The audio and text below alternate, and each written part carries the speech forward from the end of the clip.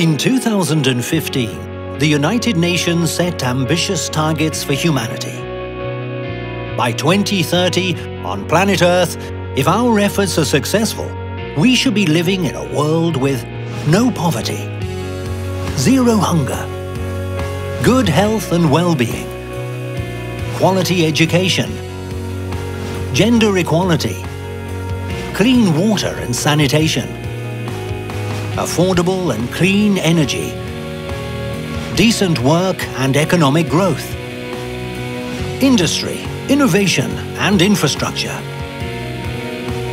reduced inequalities, sustainable cities and communities, responsible consumption and production, climate action, life below water, life on land, peace, justice and strong institutions, partnerships for the goals.